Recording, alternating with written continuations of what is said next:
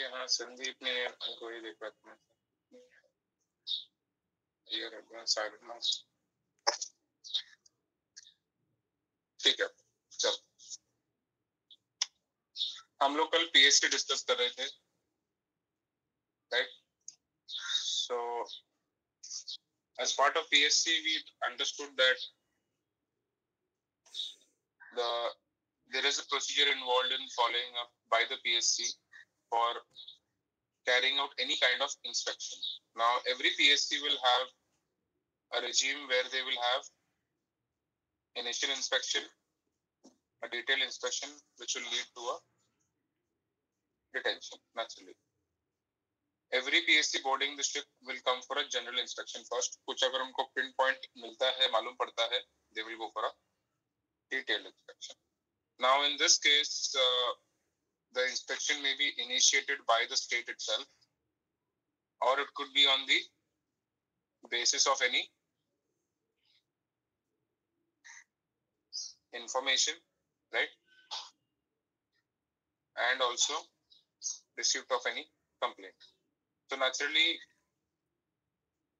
this particular aspect, PSC will board and carry out the inspections on a foreign flag vessel because they are to maintain a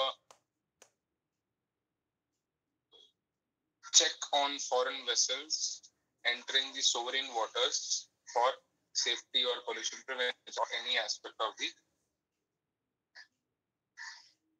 convention. Okay. So that being said, PSC will always have the right to inspect your vessels under SOLAS, SOLAS Chapter 1 Regulation 19 control And procedures for PSC will be given by IME, uh, IMO Resolution A triple one nine bracket में 30 or the 30th session. Out of this, there are clear nine uh, nine clear grounds for detention. Every PSC vessel uh, boarding a vessel will carry out any inspection and issue you Form A and Form B. Form A जिसमें vessel particulars हैं and certificates के particulars and Form B is B is nature of deficiencies, correct? उसमें आपके codes है और uh, action codes हैं which the PSC will give you for your deficiencies. Now in this case, uh, up to a detainable deficiency, you get up to code 30. And code 30 will have trade implications on you badly. So always avoid it, uh, code 30 when a mate is, con- mate is concerned in terms of PSC. Shubham तुमको मालूम होना चाहिए basically किस basis पे मुझे code thirty मिल सकता है तो ऐसे काम ना करो जिससे बेसिकली कोड थर्टी ना मिले सो so, ये बात हमेशा क्लियर रखो mates and second mate for that matter on your ship everyone should be aware of their essential shipboard operations related to safety and pollution prevention safety equipment जिसको नहीं आता है, आपका भाई डिटेन हो सकता है एंड आपकी नौकरी उसके खतरे में आ सकती है। खुद की भी और सीनियर ऑफिसर की भी। तो be very careful that every is aware ये रिस्पॉन्सिबिलिटी शुभम तुम्हारी भी बनती है on shift to familiarize every ये मैंने पहले ही बोला था। It is for the same reason that if people are not aware if की crew members can not communicate और if there is any you know deficiency in maintaining log books और any kind of such situation falsely maintain incorrectly maintain ये सब चीज़ें detention की तौर पे इशारा करते हैं. ठीक है? So code 30 is very dangerous. Detention में आपकी शिप की प्रोफाइलिंग हो जाती है कि कितनी बार कौन सी कौन सी सिचुएशन में डिटेन हुआ है for example wrongly filled enclose space entry और न्यूक्लियर स्पेस में आपने क्रू को भेज दिया major NC it can lead to serious deficiency leading to detention so all these cases have to be kept in mind कि आप क्या जहाज़ पे कर रहे हो, कैसे कर रहे हो and then only you should accordingly plan your task on board or have a presence of mind. अंधाधुन काम करोगे डिटेंशन की तरफ़ जाएगा, नौकरी पक्का खतरे में। That is one so now considering these aspects एक तो अपना था कि जैसे एक पर्टिकुलर पीएससी अपने इंडियन वाटर्स को प्रोटेक्ट करता है। Now how does a particular let's say Indian PSC know कि ये जहाज़ जो आ रहा है ऑलरेडी मान लो अपने आसपास के पानी में घूम रहा था एंड वो बराबर है कि नहीं, कैसे मालूम पड़ेगा? बाई दी मतलब पहले से कैसे मालूम पड़ेगा, ये बराबर है कि नहीं?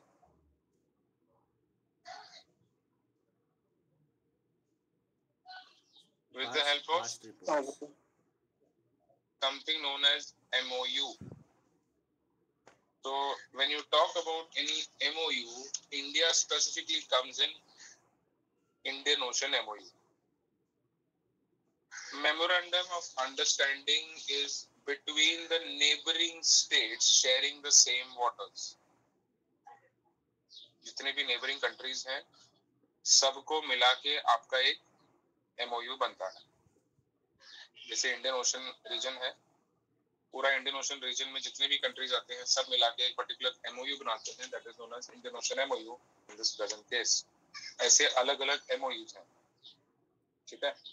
There are nine MOUs and additional 10th PSC regime. So you should be aware of these particular MOUs के नाम, but mainly you should be aware of Indian Ocean MOU because Indian COC exam दे रहे So first of all you need to understand जब आप Indian Ocean MOU की बात करते हो it is your MOU or a website known as IOMOU. ठीक है This is a very specific website to your Indian Ocean MOU, Memorandum of Understanding. इसमें आपका इंडिया आता है naturally and there are various other countries let's have a look and explore this website ये आप लोग को मालूम होना चाहिए इसीलिए मैं आप लोग को दिखा रहा हूँ। प्लीज़ एक बार यहाँ पे इसको जरा अपने घर पे जरा ओपन करके कंट्रीज़ के नाम पढ़ लेना। नॉर्मली पूछता है और कौन से कंट्रीज़ आते हैं एमओयू में आते हैं? सो अदर देन दिस आप यहाँ भी जा सकते हो।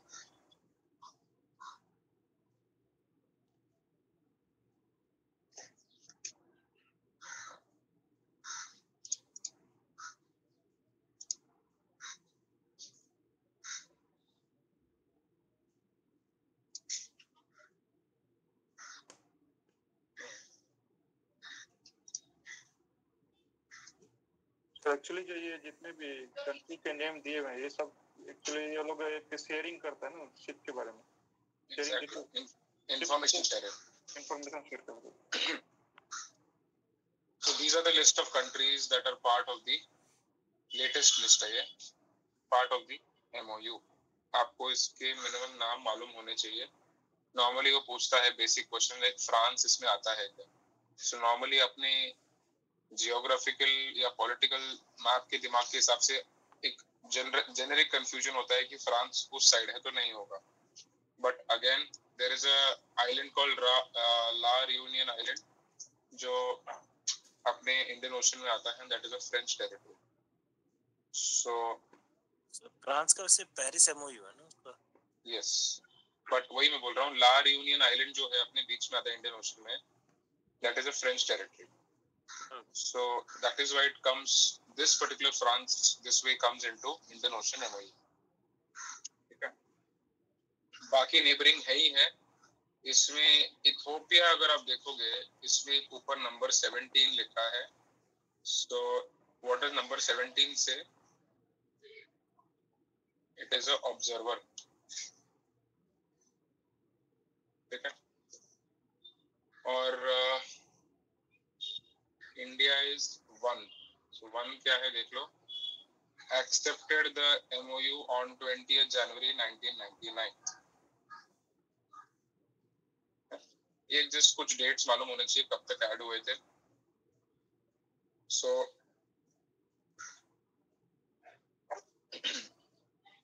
these are the list ठीक है? That is your MOU then the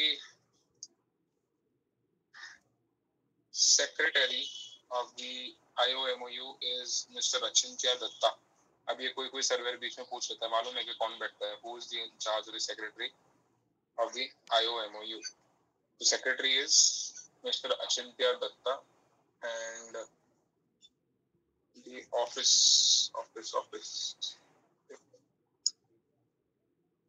the office is in Goa Dabolim Goa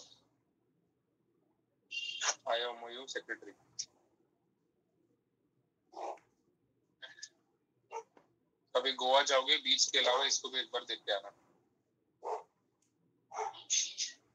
बीच के अलावा भी कुछ है गोवा में at least you should be aware of it why because it is related to your field it is not because it is something important at least related to your field एक बार देख आना ज़रूरी है पूरे इंडियन ओशन का MOU अपने अपने पर्टिकुलर बगल में है। सो MOU को head office, basically the secretariat. so you should pay the visit okay next इसमें बेसिकली एक मेन चीज़ आती है that is your detention list when you talk about detention list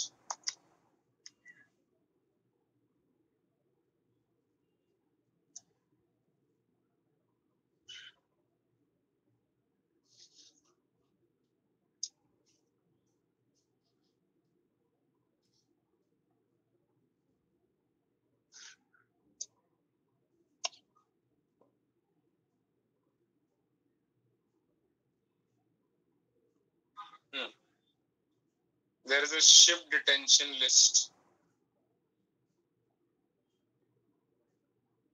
देख रहे हो there is a list with ship name GRT particular company flag ship type class कौन सा है place of inspection date of detention de deficiency codes and inspection authority so कोई भी MOU के पास अब जाओगे MOU के पास ऐसा डेटा अवेलेबल होता है पूरा तो let's have look at flag आप अगर यहाँ पे फ्लैग को देखोगे जस्ट सी फ्लैग में पहला Singapore, Panama, Cameroon, Panama, Singapore. You will see there is list of repeat names Panama Panama Liberia, Panama Panama. ये सर नो पनामा पनामा. समझ में आ रहा है ना? तो अब समझ में आ रहा है? कि पनामा का शिप अगर आ रहा है, पहले उसके कान खड़े हो जाएँगे। भाई, इसको साइड में लोकल है करेक्ट दूसरा, अब ये देखो। Ship types Panama bulk carrier Panama bulk carrier bulk carrier bulk carrier bulk carrier Panama bulk carrier Panama जमी cargo Panama bulk carrier I hope you understand तो एक इंडियन ओशन एमओयू के पास एक ट्रेंड लिस्ट है कि Panama का bulk carrier रहेगा पहले उसको साइड में लो। Just telling trend how they can develop and ये कौन से क्लास का है? N K Nippon Nippon Kaiji का रहेगा तो bulk carrier Panama hundred percent PSC उसके ऊपर चढ़ जाएगा। Is a very common trend clear है? कैन स्क्रॉल एंड चेक ये देखो नीचे भी वही है उसके नीचे भी वही है समझ में आ रहा है so whenever you go to any particular place they have already made a trend analysis ये देखो जितनी बार मैं स्क्रॉल कर रहा हूँ वही दिख रहा है so with every trend analysis every MOU or PSC हमें सुन रहे हो हमें so with every trend analysis they will develop a risk profiling of any company flag or any kind of vessel correct owner या जो भी है तो हर एक रिस्क प्रोफाइलिंग के हिसाब से they are aware which vessels are to be selected boarded and detain पहले ही पता होता है यही मैंने बोला था initiation of the party they will initiation of the state so they will automatically initiate an inspection on your vessel without even you realizing it. Clear? So normally if it is any other flag and a vessel जो इस list में नहीं आ रहा है most likely आप जितने ports में जाते हो शायद आपके पोर्ट में पीएससी नहीं आता। Reason being they have other ships to look at जो ऑलरेडी वर्स्ट कंडीशन में है।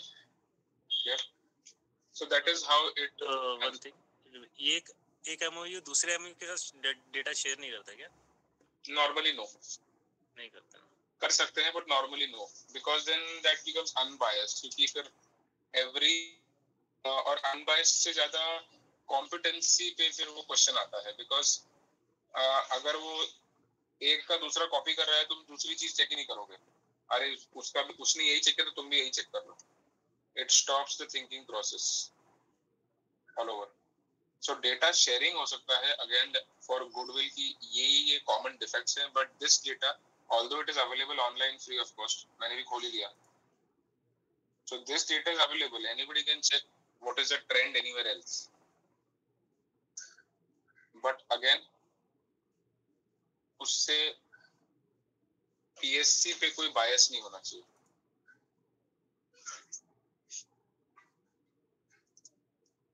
all right so that was for your basically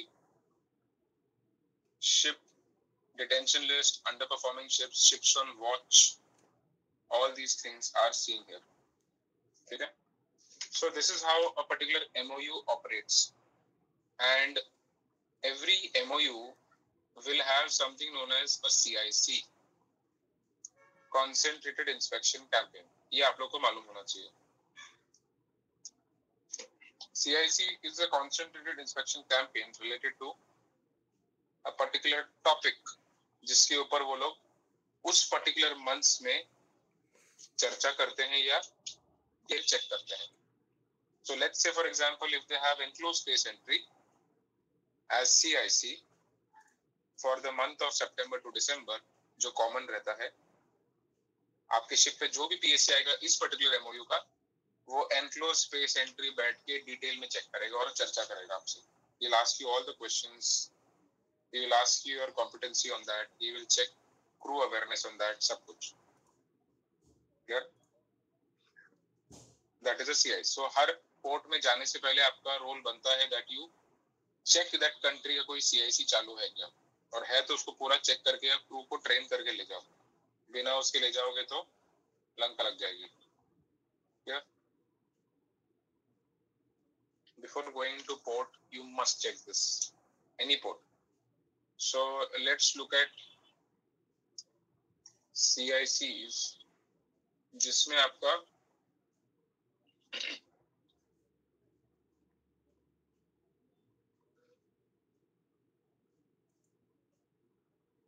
first September to 30th November normally common date रहता है एवरी ईयर. खाली 2020 में नहीं हुआ था because of COVID of course. 2021 में they spoke about stability in general. ठीक है current CIC is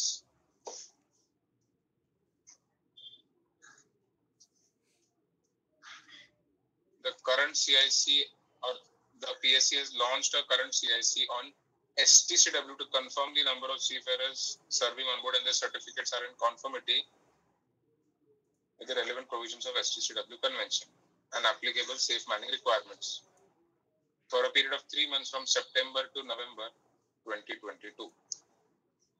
So latest CIC for Indian Ocean MOU is crew certificates as per STCW convention. ये साल में सर तीन ही महीना करते हैं ना? तीन ही महीने always September to November same तो ये सर सिर्फ़ वो पीएससी वाला ही वो ये कर चेक करेगा ऑफ़ कोर्स और कौन? वही आएगा। पीएससी का ये जो जो उस पर्टिकुलर एमओयू के कंट्री में जाओगे तुम वहाँ का पीएससी आके यही चेक करेगा उसका सीआईसी क्या है।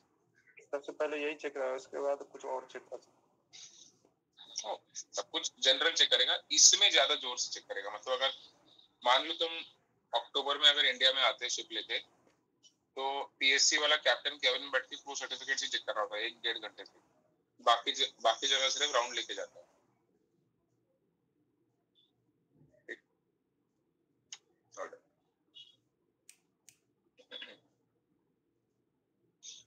Clear है CIC and MOE? अच्छा दूसरा एक और ये था कि अगर किसी शिप का लकली अगर नहीं हुआ दो साल से पोर्ट पीएससी पीएससी चेक नहीं हो पाया। है हम्म, हम्म। तो क्या वो लोग ये ट्रैक कर सकता है कि ये सिर्फ़ का अभी तक नहीं हुआ है तो कर सकता है तो ऐसा लास्ट वो तो चलाएगा एक बार देखने आ जाएगा शो मी और लास्ट पीएससी करके कब हुआ था। ऐसा कोई मैंडेटरी नहीं है ना कि एक साल में होना है या दो साल में होना है? वो उस कंट्री का रिक्वायरमेंट हो सकता है जैसे यूएससीजी है तुम्हारा। साल में एक बार करता है ना? मेनली वो प्री अराइवल में पूछ लेते हैं ना सर ये लास्ट कब हुआ लास्ट टर्न तो उसके अंदर में भी which take that MOU and last PSC कहाँ पे पूछते हैं clear I will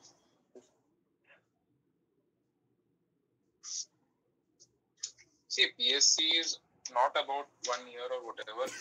It can be randomly any time. जैसे मैंने बोला अगर अगर राइजिंग ट्रेंड है पनामा बल्क कैरियर्स जिनमें डेफिशिएंसीज आ रही हैं सडनली सारे Panama bulk carriers will come into land जहाँ भी तुम जिस पीएससी में, इस पर्टिकुलर एमओयू के पीएससी में जाओगे, वहाँ उठ के पनामा बल्क कैरियर पे पीएससी पहुँच जाएगा पहले। जबकि तुम्हारा हो चुका होगा, फिर भी पहुँच जाएगा। दैट इज़ अ ट्रेंड तो ऐसे कुछ हुआ नहीं। It is initiated by the state on in fact कई बार वो सेम पीएससी ऑन बोर्ड आता है, अगर आप बैक टू बैक कोट कर रहे हो। Same PSC within three months या फोर मंथ्स आ सकता है। अपना खुद का ही सर्टिफिकेट देके चला जाएगा। हाँ ठीक है, अभी हो रखा है ना। एक ऊपर से राउंड लेगा और चला जाएगा। कुछ नहीं देखेगा, कुछ बोलेगा भी नहीं, कुछ करेगा भी नहीं। ठीक है.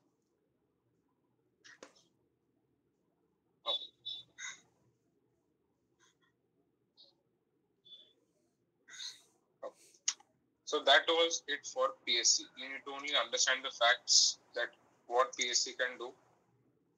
And how to avoid detention and what kind of inspection regime they will follow. So form B अगर हम देखें एक बार वंस अगेन मैंने आप लोगों को फॉर्म ए एंड बी भेजा था पढ़ने के लिए फॉर्म बी में अगर हम देखेंगे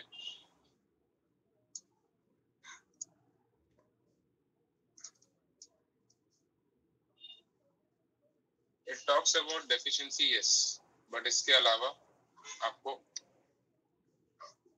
ये ज़रूर मालूम होना चाहिए कि action codes are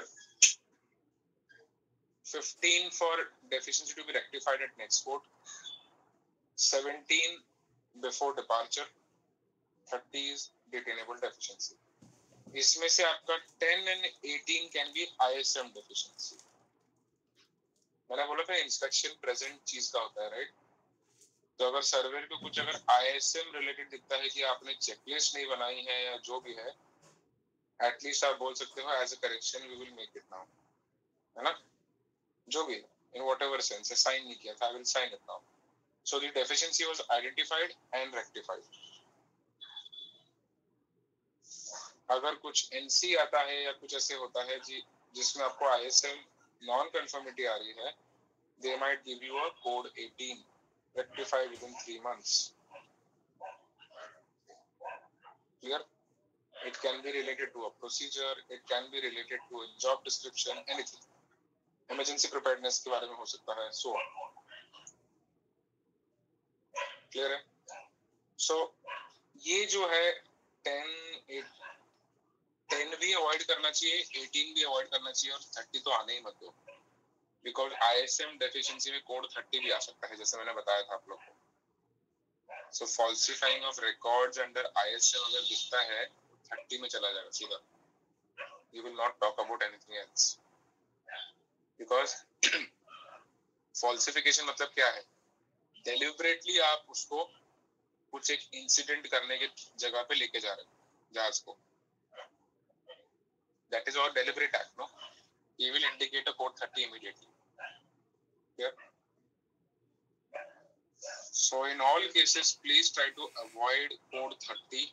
Make sure you know your stuff. क्या क्या चेक करना है या क्लियर ग्राउंड से सारी चीज़ें क्लियर होनी चाहिए। उसमें कुछ आना नहीं चाहिए। फॉल्सिफिकेशन नहीं होना चाहिए। रिकॉर्ड सारे बराबर होने चाहिए।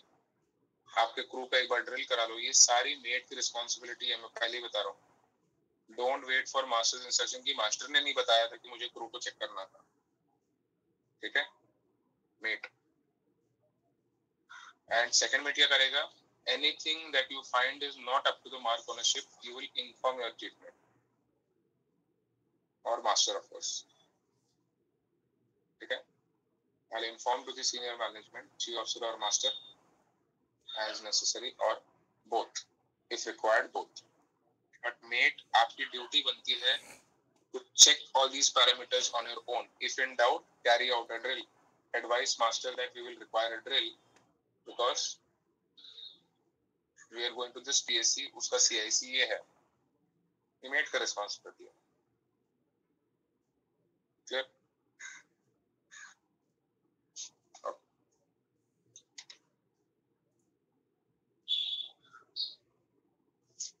जीके क्वेश्चन टाइप पूछ सकता है वो आपको डीजी का वेबसाइट मालूम है क्या जहाँ पे भेजते हैं या जहाँ से आता है रिपोर्टिंग ऑफ़िस क्या है?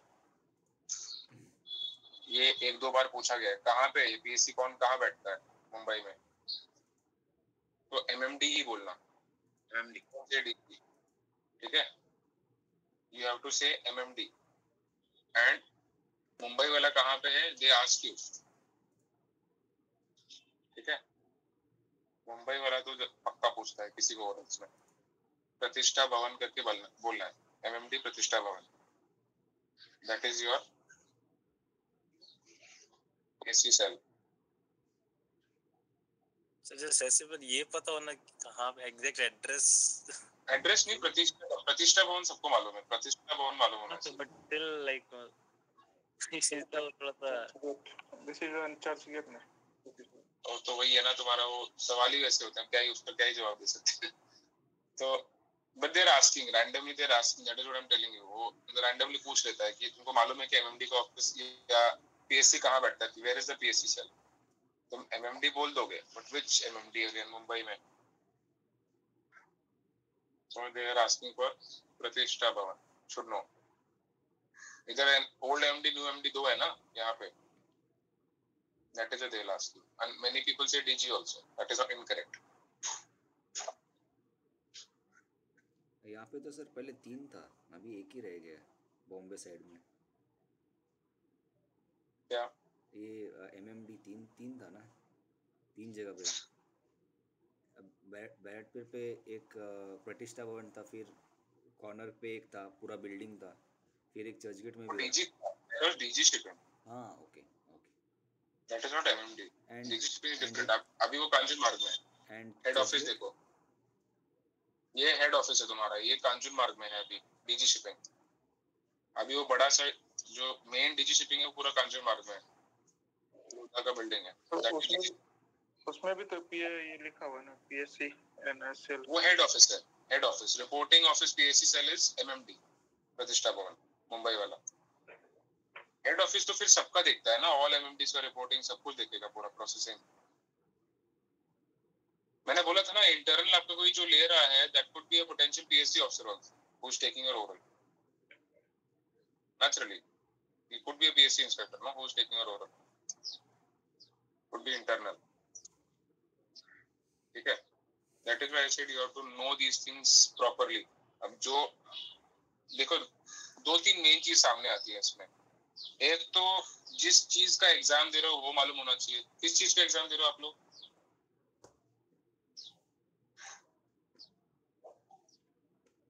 यहाँ तक नहीं पता है बोल देगा घर जाओ। पहले पता करके कि कौन सा एग्ज़ाम दे रहे हो। सीओसी चीफ मेट वो तो ऑब्वियस है but under which requirement are you giving your exam S T C W STCW किस आ, किस फ़ंक्शन के लिए एग्ज़ाम दे रहे हो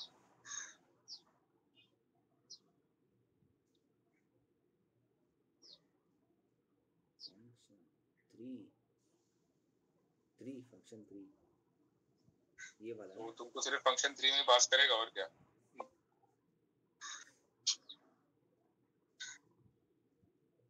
कौन से फ़ंक्शन का एग्ज़ाम दे रहे हो what are your functions as per STCW convention? That is what he'll ask you. Chief mate forum sir वो सी ओ सी में लिखा हुआ है That is your grade. C O C में लिखा हुआ है कॉलम्स में लिखा हुआ है नेविगेशन कार्गो केयर हाँ, आप लोग के पास है वो देख लेना कभी खोल के लास्ट पन्ना जिसके पास है। वो पीछे आपका function one navigation function two cargo handling and storage function three care of person on board और उसके बाद? इंजीनियरिंग है बट आप लोग के लिए नहीं है वो। नहीं एक और है।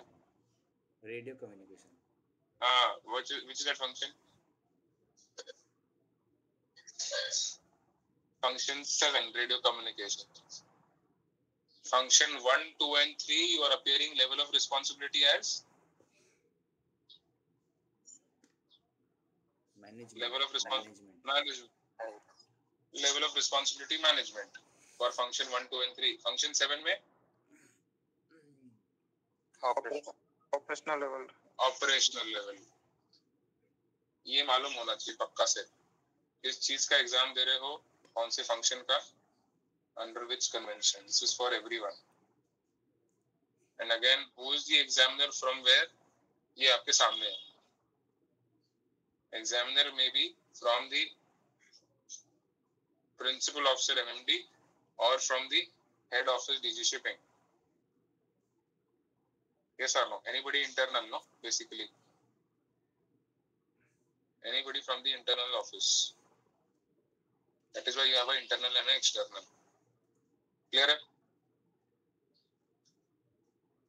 तो पूछ सकता है, एक इंटरनल और क्या हो सकता है? What is it so it is a PSC inspector is potentially a PSC inspector why? Because आपका reporting office is the principal officer of the MMD head office of the PSC cell is DG shipping clear for all ये इस तरीके से link होना ज़रूरी है। Okay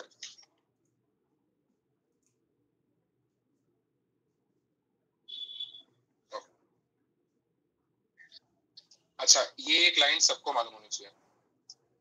specially mates ये जो राइट साइड पे।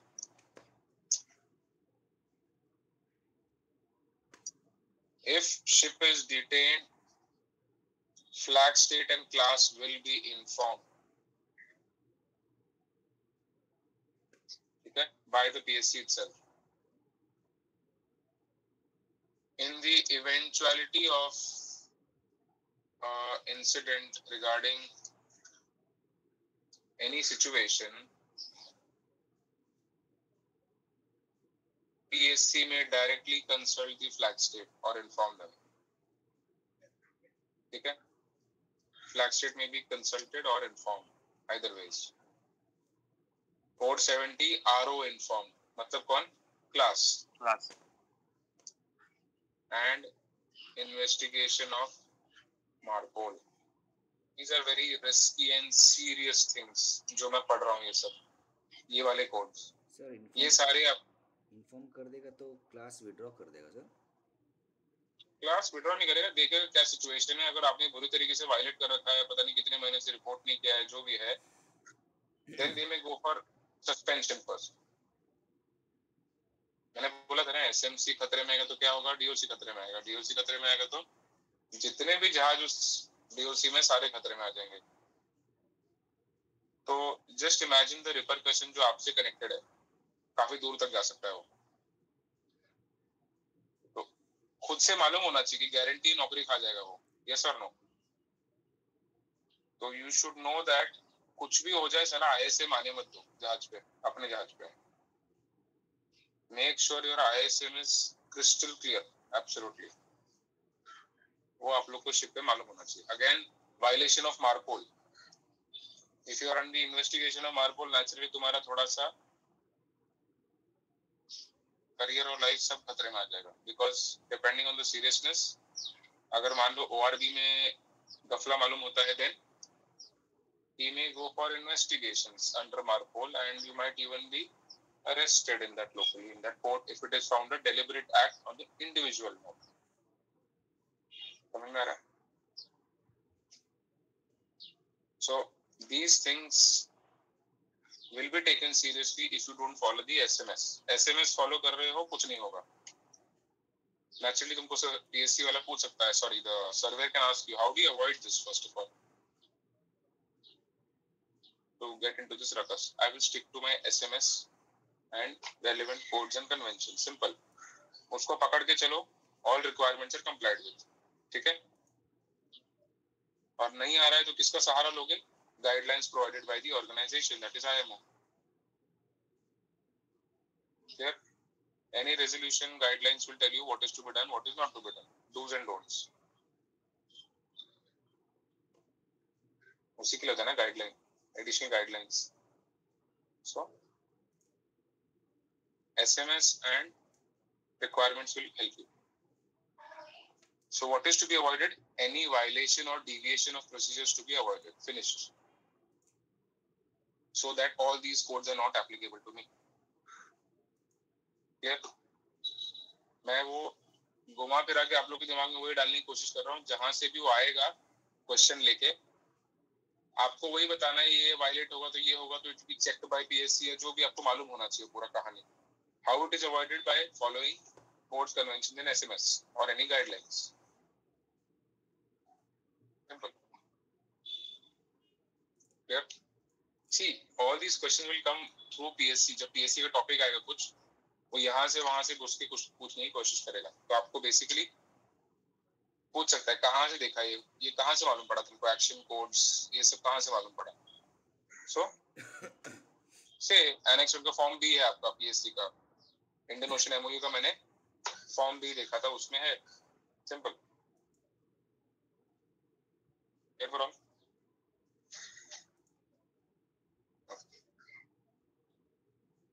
any concern please ask other MOU का इंफॉर्मेशन कैसे पता चला जैसे हम लोग को इंडियन का तो मालूम था तो देख वेबसाइट पे। समझा नहीं क्या बोल रहे हो? जैसे इंडियन एमओयू का मालूम था तो हम लोग इससे वेबसाइट से देख लिया और यहाँ से जो भी था हम लोग निकाल लिए पीएससी का फॉर्म है या कुछ हाँ। तो दू, दूसरा एमओयू का उससे उसका कैसे पता चलेगा उसका कौन सा वेबसाइट वो वेबसाइट में जाओ निकालो। वेबसाइट में जाके can always take out MOU में उसका क्या है? Country wise we can search हाँ हाँ हाँ Yeah, yeah.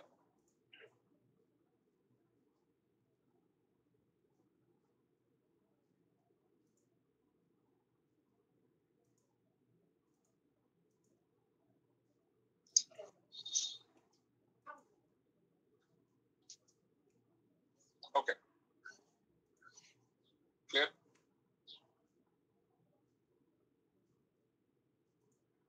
ठीक है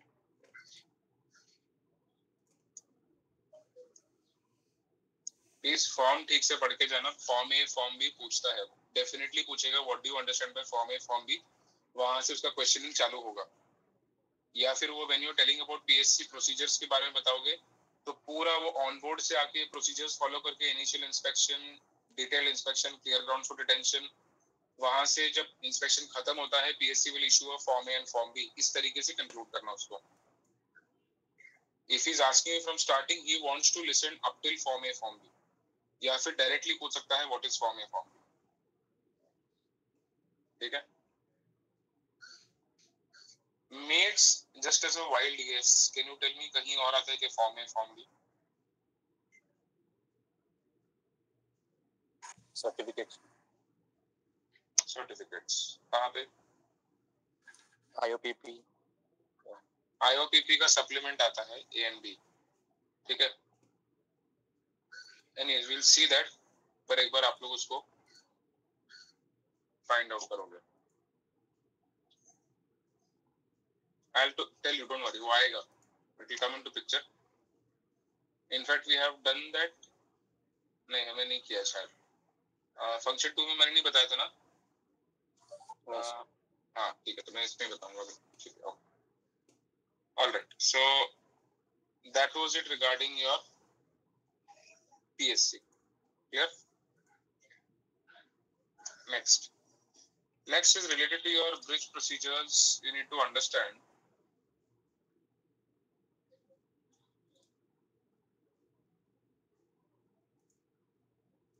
Ship handling is part of your function one. मैं इसका खाली फ़ंक्शन थ्री पार्ट आप लोगों को बता रहा हूँ अगर आपको टर्निंग कैरेक्टरिस्टिक्स के बारे में पूछ रहा है for example of your last ship for example या आपको पैसेज प्लान के बारे में पूछ रहा है and you are planning some contingency और some you will definitely mention turning characteristics correct पहला सवाल आता है टर्निंग कैरेक्टरिस्टिक्स कहाँ से रेफर करोगे? क्या बोलोगे?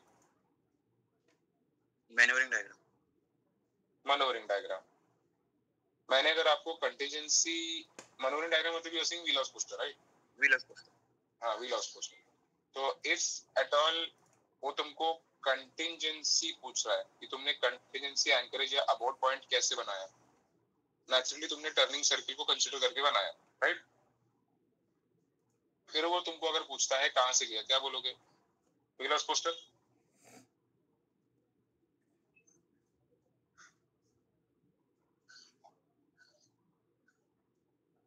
शिप्स के प्लान्स प्लान्स में होता है सर मैं बोला ना आंसर पूरा देने का नहीं तो नहीं देने का। वो तुमको पूछेगा you want me to search it for you ऐसे ही पूछेगा तुमको सीधा don't irritate the survey plans में मिलेगा मतलब वो तुम उसको ढूँढने के लिए थोड़ी बोल रहे हो। तुम उसको आंसर बताओ कहाँ मिलेगा? नहीं तो यू डोंट टेल सर हाँ। यार्ड से जो शिप ट्रायल होता है उसका एक बुकलेट होगा मैनुअरिंग Sea trial का। सी ट्रायल का।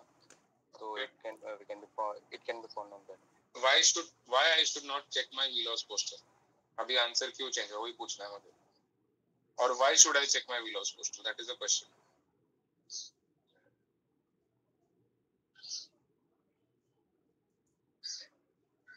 uh, the sea trial booklet uh, is uh, approved by class uh, wheelhouse poster नहीं है it is a requirement no it is not made as a nameplate वो तो requirement है that I will share with you my question is why are you referring to your Velos poster or or why are you not referring to your Velos poster जब तुमने turning circle consider किया था abort point बनाने के लिए that is a question किया तो क्यों किया नहीं किया तो क्यों नहीं किया I want to no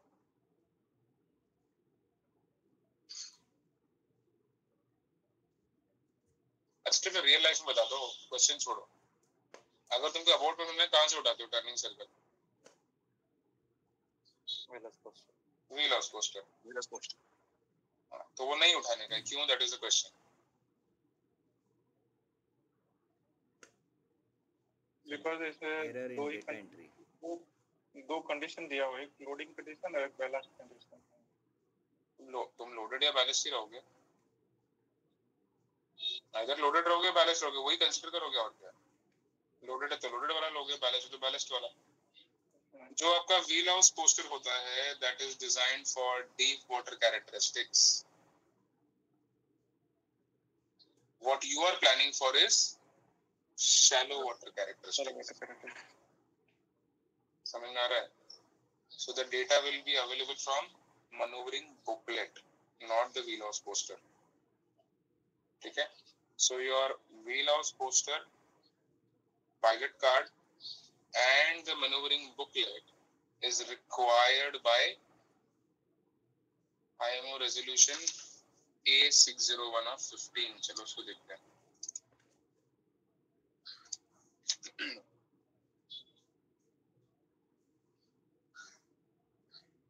A six zero one bracket में फिफ्टीन लिख लो उसका टाइटल मैं दिखा रहा हूँ ये टाइटल लिख लो उसके आगे ये मैं आप लोग को भेज दूँगा। आप लोग को इसको देखना है। हम्म, ये टाइटल लिखो। Provision and display of manoeuvring information on board ships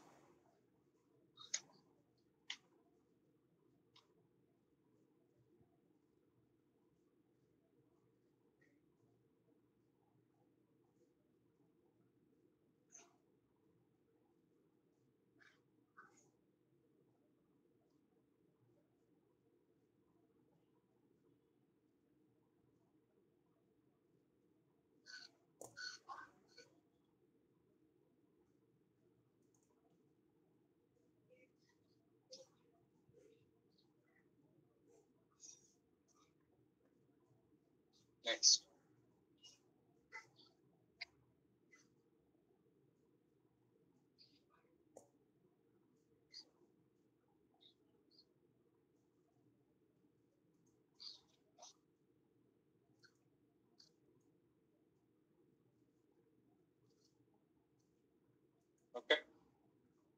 अगला सवाल। अगर आप अपने विलॉस पोस्टर को देख रहे हो how do know that the wheelhouse poster is complete और इनकम्प्लीट उसमें सारा डेटा अवेलेबल है कि नहीं है? सेकंड मेट के लिए बचता है मेट के लिए बचता है सवाल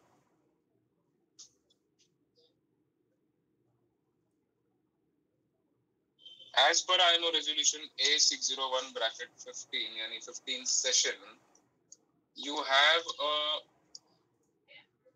appendix for pilot card and wheelhouse poster, appendix 2. इसमें आपका आईएमओ ने सारे रिकमेंडेशन से minimum data required on a wheel house poster का डेटा दिया हुआ है। तो आपके जहाज़ पे अगर व्हील हाउस पोस्टर है आप खुद से जाके चेक कर सकते हो कि सारा डेटा कंप्लीट है कि नहीं। नहीं है तो inform your master next class surveyor जब आएगा उसको अपग्रेड अपडेट करके चला जाए अप्रूव करके या फिर आप एटलीस्ट डायमो से प्रिंट मार के उस पर डाल सकते हो।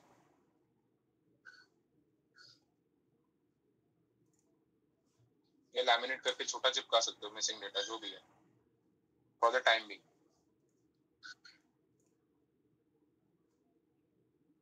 clear for all wheel house poster and दूसरा नेचुरली अगर आप नई कंपनी में सेल कर रहे हो व्हाटएवर या नया कंपनी एस्टेब्लिश हुआ है there can be XYZ reason there is a format for pilot card as well minimum data required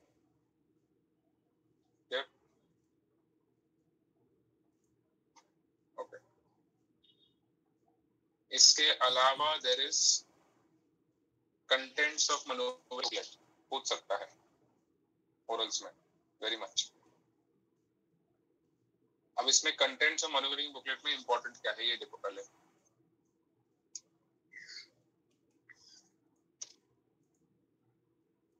Manoeuvring characteristics in deep water यही मैंने बताया था।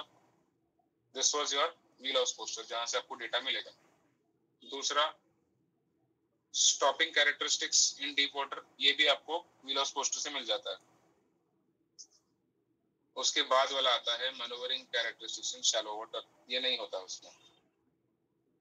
So when you are basically looking at your vessels about point जो आप देख रहे हो are tight turning characteristics in manoeuvring water sorry deep water shallow water में क्या फ़र्क पड़ेगा इसका? Turning Hashtag circle will क्या? increase. बड़ा। Uh, so that means you are taking wrong data for board a board point. And that means what you are doing? You are jeopardizing your safety. मतलब तुमने plan किया है point two के लिए, पता चला पॉइंट फाइव हो गया, जाके लैंड पे चला गया। यस और नो तो हाँ बोलो। वैसे ज़्यादातर जगह जो ज़्यादा स्ट्रिंजेंट रूल्स होते हैं, उसको फॉलो करते हैं। तो व्हील हाउस पोस्टर में ये शैलो वाले क्यों नहीं लिखते हैं? डीप डीप वाले के लिए मतलब ऐसे बुकलेट अगर रेफर करें तो that will be most your majority of the uh, क्या बोलते हैं poster is mainly used for navigation for handy techniques wheel house poster जो होता है that is for quick reference as handy techniques and navigation so navigation में तुम्हारा collision avoidance prime importance होता है हालाँकि जब तुम अबोर्ड पॉइंट कंटिजेंसीज होते हैं they are with planning planning में जब तुम्हारा अप्रेजल होता है that is only from the detailed data ठीक है? सो so, तुम्हारे रेफरेंस के लिए उसका एक कॉपी या पेपर लैमिनेट करके वहाँ लटका सकते हो। इजी रेफरेंस के लिए। That is your call you are the second mate on bridge है ना? यार्ड का मैनुअल लो जेरोक्स मारो लैमिनेट करके लगा तो कौन रोका तुमको? है ना? For your answer what you are saying is right but the fact remains, we lost pushed as a quick reference during navigation, for collision avoidance बाकी तुम्हारी सारी अबाउट पॉइंट कंटिजेंसी प्लानिंग होती है, वो अप्रेजल फॉर्म में तुमको plan manual से देखने होते हैं। वो अपना एक, क्या बोलते हैं इजी नोशन हो जाता है कि हम लोग वहाँ पे डेटा दिया तो वहाँ से उठा लो। बट अप्रेजल में you have to go in all the publications and manuals required अब वो सीजनिंग की बात होती है। Once you are season second mate then you will pick up data automatically या तुम जाते ही जहाज़ पे पहले वो किताब बोलते हैं ना, अंधाधुन टाइप जाके वो किताब खोलोगे, पहले कॉपी मारोगे, वो लैमिनेट करके वहाँ लगा दोगे, उसके बाद वहीं से रेफर करोगे। या फिर बेस्ट स्ट्रेटेजी क्या रहेगी? मोस्ट स्ट्रिंजेंट टर्निंग सर्कल जो है, उसको स्टैंडर्ड अप्लाई कर दो। इसको पॉइंट फाइव पकड़ के चलो। है ना? ब्रीफिंग के टाइम सबको बता दो जहाज़ पे, जो तुम्हारे साथ हैं bridge team sir will consider point five in all cases तो डीप भी रहेगा तो तुम आराम से निकल जाओगे सेफ्टी मार्जिन रहेगा तुम्हारे हाथ में। एंड शैलो है तो वैसे ही बच जाओगे। Clear that is how you plan you take जो तुमने शुभम बोला प्लानिंग के वक्त डिसाइड कर लोगे you will go for the higher one but अगर प्लान्स की बात आती है तो we are supposed to for only navigation it is a handy reference to the pilot to the master और you on the bridge during navigation इसीलिए stopping characteristic सब कुछ डीप वाटर का दिया हुआ है। Collision avoidance land approaching or whatever. It should be at sea from full speed. ठीक है? बेसिकली कई जगह डेप्थ ज़्यादा भी होती है ना तो we have to consider as per that higher side ले लो ना सेफ्टी अलाउंस रहेगा क्या फ़र्क पड़ता है? शैलो मतलब वही मैंने बोला ना तुम लेसर वाला नहीं ले सकते that is dangerous in fact तुमको पीएचसी भी इस पे डेफिशिएंसी दे सकता है that your contingency planning was taken correct he can t- give you that you should be able to tell him that i have taken from here then you will be okay you will say okay and it should be documented in your passage plan somewhere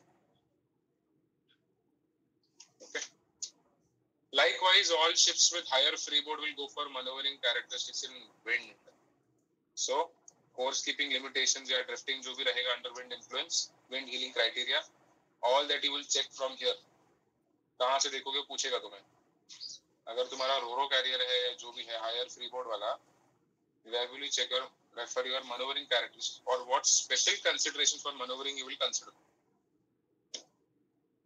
correct maneuvering characteristics in wind in maneuvering booklet maneuvering at low speeds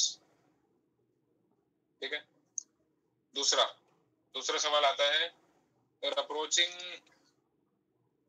a target dead target right ahead of you and there is no sea room on port or starboard how do you intend to stop the vessel mates अब second mate तो वही रहेगा I'll call master immediately in mates how do you intend to stop the vessel if master is not responding or you are the secondary senior officer on the bridge how will you stop it Sir, call call duty engineer and im- emer- use emergency stop. very good और उससे क्या होगा Uh, सेमिनेंट and best of crash stop से क्या होगा transfer thrust किधर मारेगा तो we have to keep the helm as per that sir तो हेल्म तुम्हारा order after your speed is below 10 knots और 8 नॉट्स क्रैश स्टॉप मार दिया है most likely for a 8 year old ship तुम्हारा इंजन सीज हो जाएगा। उसके बाद तुम्हारा एक बार 8 10 नॉट्स तक नीचे आ गया there is no helm order available to you so you are approaching dead to the target also probably your helm will stop responding rudder cycle rudder cycle rudder cycling is very important in terms of stopping the ship you will go from one helm to the hard over to other helm in order to take the ship's headway on the beam ताकि तुम्हारे ship का speed जल्दी drop हो। ठीक है? Other than that you have to check for accident ये PDF कुछ ज़्यादा ही फास्ट है एक minute.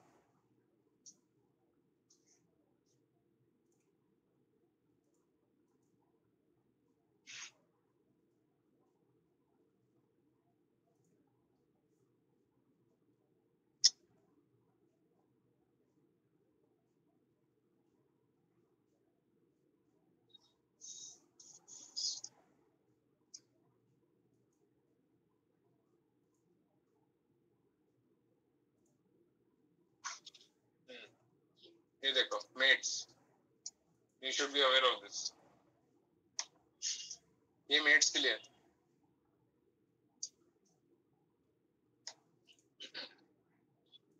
zigzag maneuver zigzag और pull out manoeuvre for full load or ballast condition as shown in diagram with heading changes and rudder angle. You will follow this. Mates should be aware of this. अपने जहाज़ पे जाओगे भैया bridge watch करते हो तो ये एक बार पन्ना खोल के देख लेना। एंड सेकंड मेट और mate what you can do best ये पन्ने का कॉपी लेके कहीं पे लैमिनेट करके लगा दो। एटलीस्ट टांग दो। किसी को नहीं चाहिए तो निकाल भी सकते हैं वहाँ से। चिपकाओगे तो वैसे ही डबल साइडेड की तंगी रहती है और जगह की तंगी रहती है लगाने की। कहीं पे टांग दो for quick reference you can make your own docket on ship ठीक है? Again Shubham this becomes part of your wheel house poster kind of a wheel house poster की तुम इसको कहीं पे टांग सको फॉर क्विक रेफरेंस एक डिस्क के बगल में लगा दो टांग के जो भी है। रडार रडार रडार के बगल में। Right this is for understanding your radar cycling in emergency okay. MOB maneuvers अच्छा क्रैश स्टर्न से आपका शिप कहाँ भागेगा?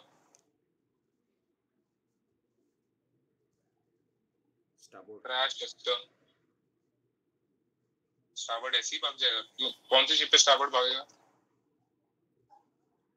राइट हैंडेड प्रोपेलर वाले। तो ऐसे बताना है आंसर भैया ऐसे स्टारबोर्ड भागेगा डायरेक्टली नहीं बोल सकते। For a right handed propeller my bow will swing to starboard this is how you answer ठीक है? Please don't shoot incomplete statements वो खाएगा सर्वेयर दिमाग। तुमको सिंपली वही पूछेगा how did you say and why did you say starboard okay that is one. Then you have, ये contents मैं आप लोगों को भेज दूँगा प्लीज़ गो थ्रू इट ये मेट्स के लिए है सेकंड मेट्स के लिए नहीं है। ये वाला जो मैं दिखा रहा हूँ। Standards for manoeuvring basically how your ship is designing और defining its turning circles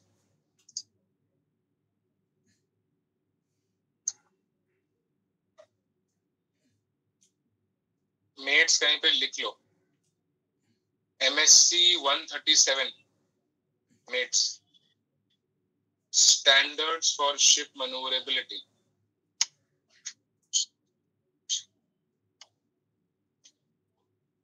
MSc 137 standards of, for ship maneuverability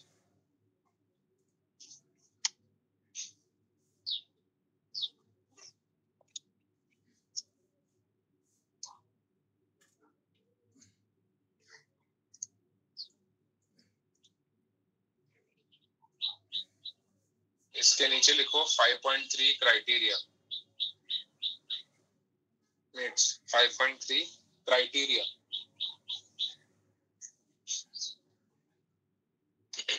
ये आप लोग को मालूम होना चाहिए। इसमें टर्निंग एबिलिटी याद रखना। Advance should not exceed four and half ships length tactical diameter should not exceed five ships length ये रिक्वायरमेंट है। बाय आईएमओ इसके नीचे वाला कोई पूछेगा नहीं। उसके बाद लास्ट वाला मालूम होना चाहिए। Track reach in full stern stopping test should not exceed 15 ships length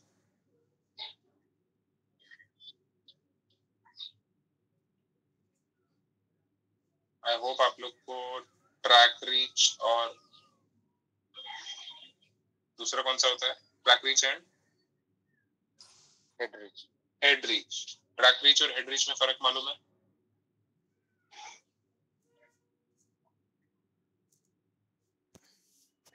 एक बार बता दो। Head reach क्या होता है? Head reach is basically the straight distance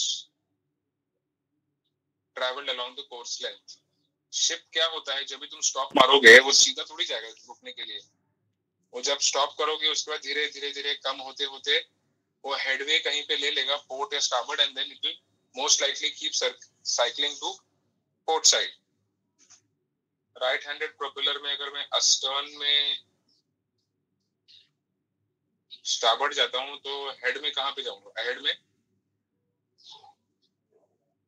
port into port ना? So धीरे धीरे जब propeller and ship will come to rest without giving any help मेरा धीरे धीरे धीरे धीरे पोर्ट जाके रुकेगा हल्का हल्का करके। Yes or no? So the actual path traveled by the ship, जिस तरीके से जाता है right actual path traveled by the ship until it comes to full rest is known as track reach और जिस पोजीशन पे जाके वो रुका है,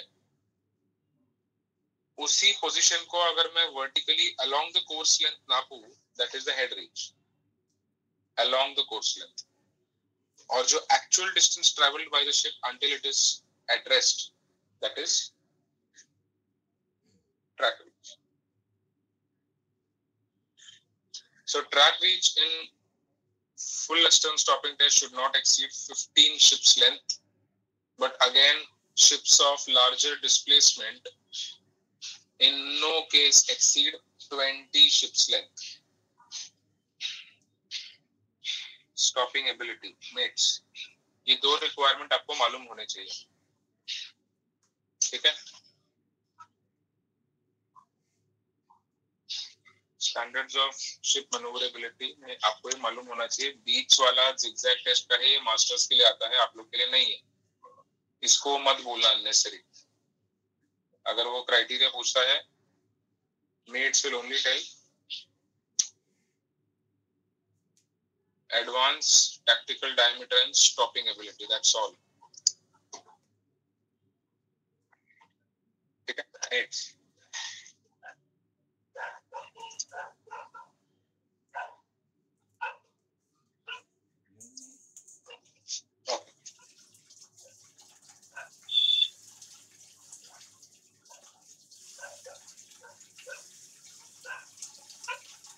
okay. How do you indicate how do you indicate that it is heavy weather again ये mates को पूछ सकता है but IMO indicators क्या होते हैं to understand that it is heavy weather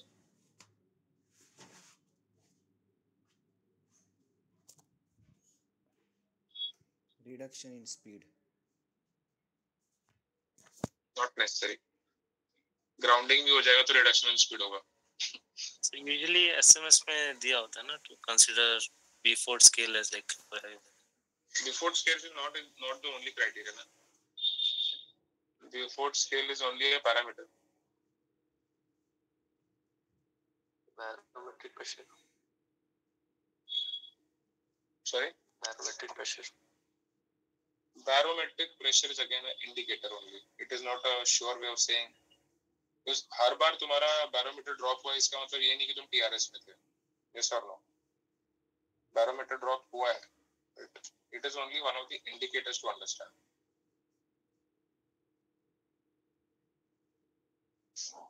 okay please have a look at this ये slide uh, Shubham मैं तुमको बता बता रहा हूँ उतने ही पॉइंट्स याद रखो mates minimum four you should know so the Shubham तुम्हारे लिए फ़र्स्ट टू बहुत है ship rolling more than 25 degrees and shipping green seas on exposed deck. What is green seas? Difference between green seas and shipping sprays. Green sea means taking uh, heavy water on the deck and then not looking at white glasses, like a same sea water, like sir water with uh, ocean, ocean color. No no no no that is not color से related नहीं है free flowing water that comes on deck and goes away from the side that is shipped during the heavy weather So basically, it is not spray, but it is actual waves coming over your exposed deck. So, water hitting your exposed deck is basically green seas. Shipping spray अलग होता है. That is only spray. Spray मार रहा है आगे. That is different. Green sea is actual heavy sea coming on the deck.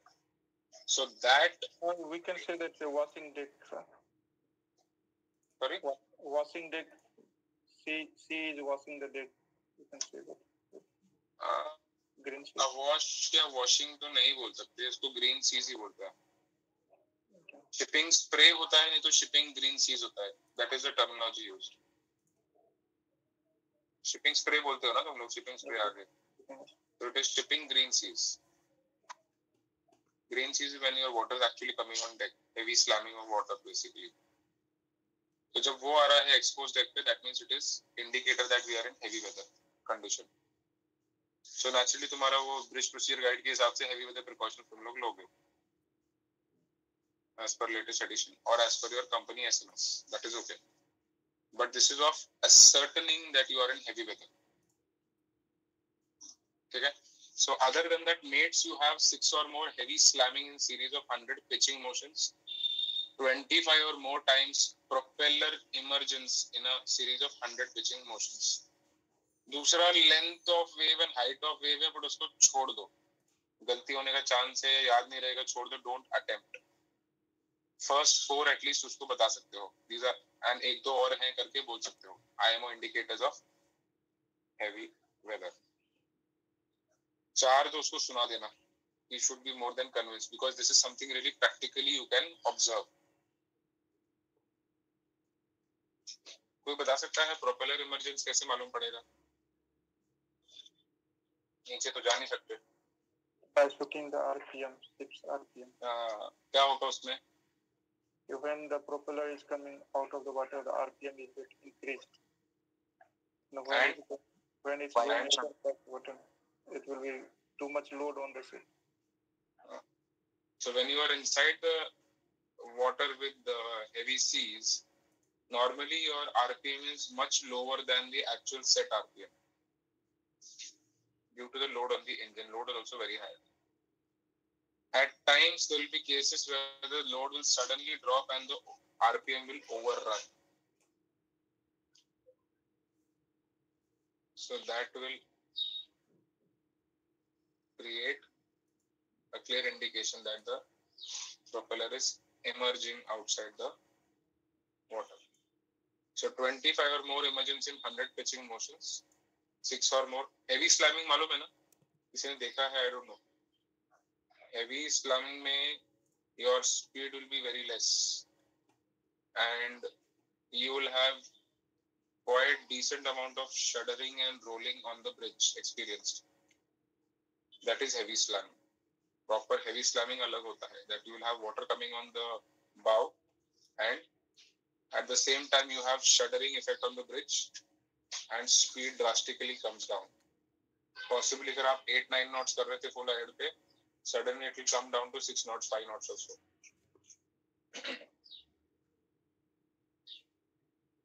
okay along with of course you will have pitching motion and rolling motion simultaneously so that is heavy slamming. So naturally, these at least four indicators are common indicators for heavy weather. Okay.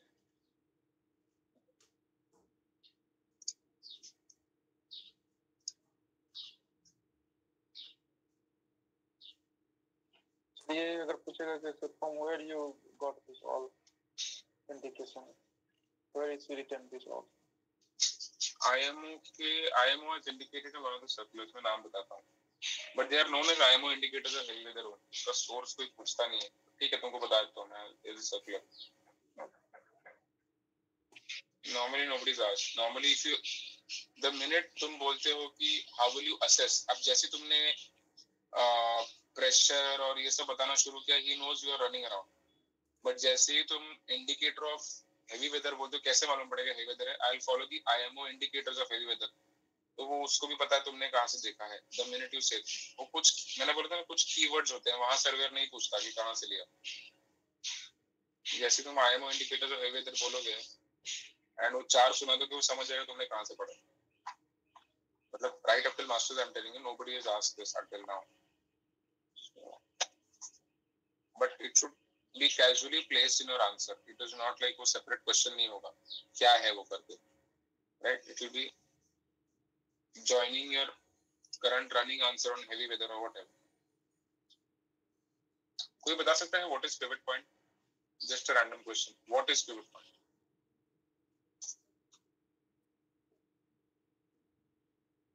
imaginary point at which the ship turns Okay, but what is it? Lever lever का centre It is not liver. Lever का centre कैसे होगा अच्छा okay turning के लिए okay but liver से reference नहीं है तो पिवट पॉइंट क्या है?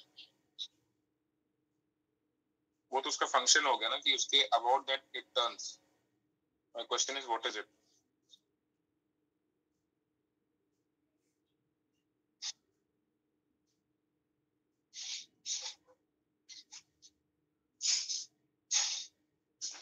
pivot point will be basically your assumed shift of center of gravity about which the ship turns. Centre of gravity की momentum centre of momentum Assumed shift, assumed shift of center of gravity about which the ship turns. ठीक है so it is कहाँ होता है वो technically while moving ahead it is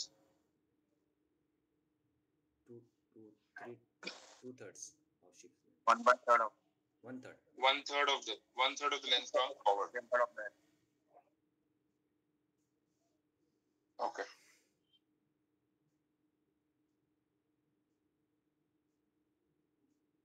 They may ask you how do you peculiarly define or distinguish between synchronous and parametric rolling. Your time period of encounter of roll is equivalent to time period of roll of the ship. That is synchronous. And in cases of vessels with large flare or broad stern, your time period of encounter of roll with time period half of the time period of rolling ship or rolling period of the ship that is parametric rolling इसमें I'll request the mates आ, छोड़ो मैं आपको बता दूंगा I'll explain it I'll quartering seas में किसी ने the term quartering seas mates quartering seas is it okay to take the waves on your stern और quarter of quarter of the ship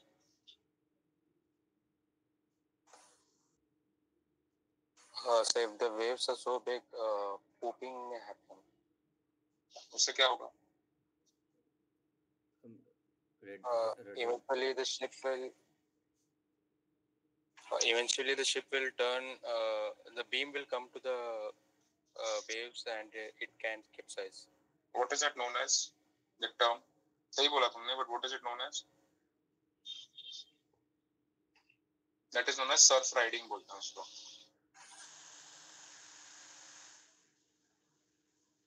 I'll request एक बार उसको एक बार पढ़ लो. I'll explain and show it also. Surf riding बोलते हैं. Show it in the next class to हाँ शुभम तुम्हारा डाउट बोलो. सर ये सिंक्रोनस रोलिंग वाला आपने जो बताया थोड़ा ऊपर से चला गया ऊपर से चला गया। एनकाउंटर जो होता है छोड़ो मैं तुमको नहीं पूछेगा ये। तुम्हारे लिए है भी नहीं मेट्स के सिलेबस में नहीं पूछेगा मैं पहले ही बता रहा हूँ। Hundred percent two hundred percent वो उनके सिलेबस में आता है मेट्स का रिटर्न में भी आता है सो मेट्स को खाली मैंने बताया कि